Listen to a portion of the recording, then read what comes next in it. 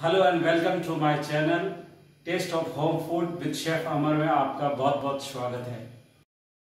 आज मैं आपके साथ बूंदी के लड्डू की रेसिपी शेयर करने जा रहा हूँ। और जब बूंदी के लड्डू की बात आती है तो थोड़े बचपन की तरफ़ वापस चलते हैं। जब हम स्कूल के अंदर 15 अगस्त हो या 26 जनवरी हो तो उसके बाद दो लड्डू दिया करते थे। तो उस लड्डू की रेसिपी मैं आपके साथ शेयर कर रहा हूँ। तो आप बनाकर ज़रूर इन्जॉय कीजिए। यदि आपको मेरी रेसिपी अच्छी लगी हो तो लाइक कीजिए और मेरे चैनल को अपने फ्रेंड के साथ शेयर कीजिए। यदि आप मेरे चैनल पर नए हैं तो सब्सक्राइब कीजिए और बेल आइकॉन पर ऑल ऑप्शन प्रेस कीजिए, ताकि आपको मेरी नई रेसिपी का नोटिफिकेशन मिल सके। तो आइए बनाना शुरू करते हैं। अब बाउल में वन हाफ़ कप छान कर लिया हुआ बेसन को ऐड कर देंगे।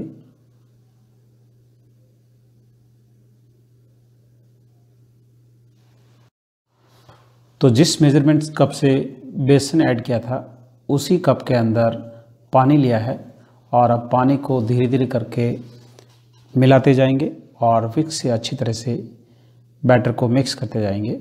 पानी एक साथ नहीं डालना है, पानी थोड़ा थोड़ा करके ही डालना है।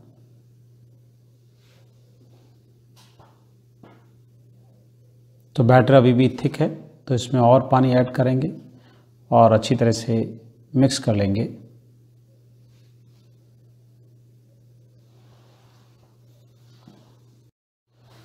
तो बैटर अभी भी थोड़ा सा थिक है, इसमें और पानी ऐड करेंगे और विस्क से अच्छी तरह से मिक्स कर लेंगे। बूंदी के लड्डू बनाने के लिए बैटर की कंसिस्टेंसी ही सबसे इंपॉर्टेंट है। अगर आपकी बैटर की कंसिस्टेंसी बिल्कुल परफेक्ट है तो बूंदी के लड्डू बिल्कुल परफेक्ट बनेंगे। अब बैटर में pinch of baking soda add करेंगे और pinch of orange red food colour add करेंगे। अगर आप बेकिंग सोडा ऐड नहीं करते हैं तो बैटर को एक ही डायरेक्शन में पाँच से छः मिनट के लिए विस्क से विस्क करना है, ताकि बैटर के अंदर एयर बने। तो बूंदी लड्डू का बैटर बनाने के लिए वन हाफ़ कप पानी लिया था। उसमें इतना पानी बच गया है। तो आधा कप खरबूजे के बीज लिए हैं और इनको धीमी आँच पे रोस्ट कर लेंगे और कंटिन्यू मिक्स करते रहेंगे ताकि नीचे से जले नहीं और एक सा कलर आए। तो अब खरबूजे के बीज में चटकने की आवाज़ आनी शुरू हो गई है और अच्छी तरह से रोस्ट हो गए हैं। और अब गैस को स्विच ऑफ़ कर देंगे और एक बाउल के अंदर निकाल कर ठंडे होने के लिए रख देंगे। तो अब बूंदी को फ्राई करने के लिए कढ़ाई में मूंगफली का ऑयल लिया है और ऑयल को गर्म होने देंगे। आप ऑयल की जगह घी का भी यूज़ कर सकते हैं। तो ऑयल अब अच्छी तरह से गर्म हुआ या नहीं हुआ, उसको चेक करने के लिए थोड़ा सा बैटर डालेंगे और चेक करेंगे। आप देख सकते हो बैटर बहुत ही क्विकली ऊपर आ रहा है तो ऑयल अच्छी तरह से गर्म हो गया है। और आप जब भी बूंदी फ्राई करने के लिए कढ़ाई लें, कढ़ाई हमेशा मोटी ही लें, यानी पैंदा उसका थिक हो, पतली नहीं लें, क्योंकि बूंदी फ्राई करने के लिए गैस फ्लेम को हाई रखना होगा। यदि आपको मेरी रेसिपी अच्छी लगी हो तो लाइक कीजिए और मेरे चैनल को अपने फ्रेंड के साथ शेयर कीजिए। तो ऑयल अब गर्म हो गया है और अब झारे पे बैटर डालेंगे और बूंदी निकालेंगे। बूंदी आप नॉर्मली घर में जो ग्रेटर होता है, उससे भी आप निकाल सकते हैं और घर में जो छोटे झारे होते हैं, उससे भी आप बूंदी निकाल सकते हैं और थोड़ा ऊपर इसलिए रखते हैं ताकि जब बूंदी गिरे, जब ऑयल के अंदर बूंदी गिरती है और जब तक दूसरी बूंदी ऑयल के अंदर गिरती है, तब तक पहले वाली बूंदी पक जाती है तो ये आपस में चिपकती नहीं है, इसलिए जारे को थोड़ा सा ऊपर रखते हैं। जैसे ही सारा बैटर ऑयल के अंदर डाल दें, उसके बाद गैस फ्लेम को थोड़ा सा लो कर देंगे और बूंदी को पकने देंगे। जैसे ही डालते हैं, उसी वक्त नहीं निकालना है। तो अब बूंदी हल्की सी पक गई है और अच्छी तरह इस पर गोल्डन कलर आ गया है और अब सारी बूंदी को बाहर निकाल देंगे।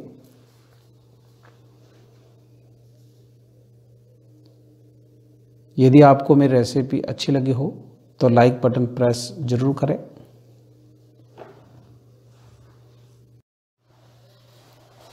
तो अब बूंदी का सेकेंड राउंड फ्राई करेंगे।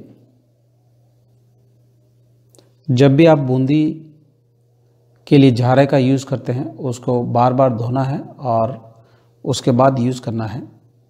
नहीं तो बूंदी गोल गोल नहीं निकलेगी, चपटी निकलेगी। तो इस बात का ध्यान रखें। तो अब बूंदी अच्छी तरह से फ्राई हो गई है और अब बाहर निकाल देंगे।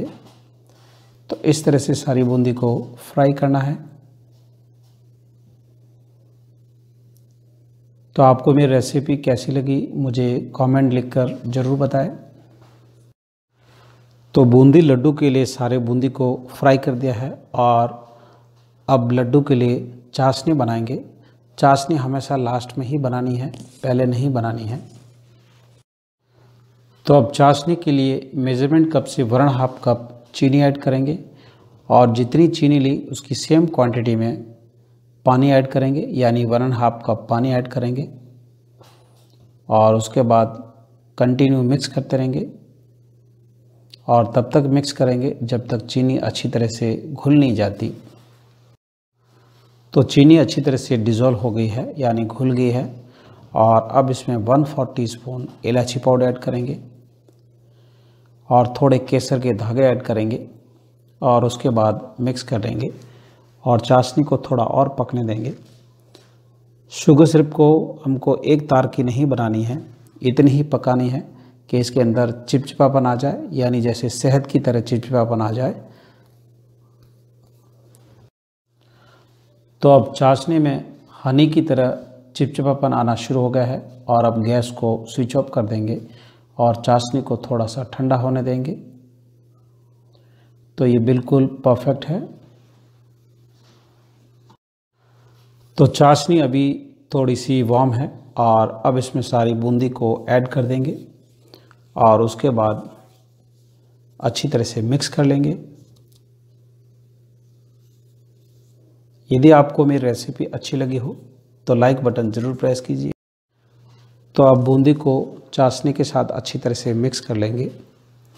जैसे हम बूंदी चाशनी में डालते हैं तो चाशनी की क्वांटिटी ज़्यादा दिखती है तो इसमें बिल्कुल भी घबराने की बात नहीं है। जैसी बूंदी के साथ चाशनी को मिक्स करेंगे, थोड़े टाइम के बाद बूंदी पूरी चाशनी को ऑब्ज़र्व कर लेगी। तो आप ढक्कन लगाकर धीमी आँच पे एक से दो मिनट के लिए पकने देंगे।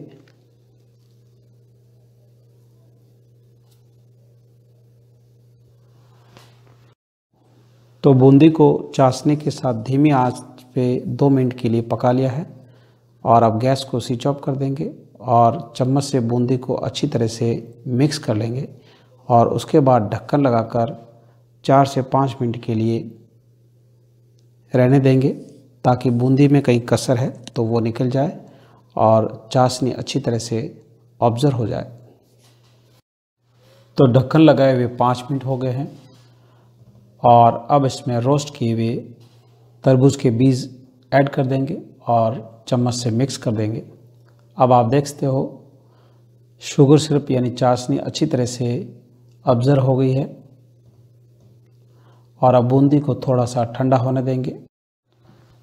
तो बूंदी अभी थोड़ी सी गर्म है और गरम गरम बूंदी से सारे बूंदी के लड्डू बना देंगे। अब इसमें थोड़े से खरबूजे और थोड़े से पिस्ता ऐड करेंगे।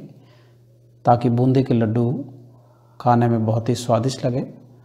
और लड्डू की साइज़ आप अपने हिसाब से छोटी या बड़ी कर सकते हैं। तो इस तरह से सारे राउंड शेप में लड्डू बनाने हैं।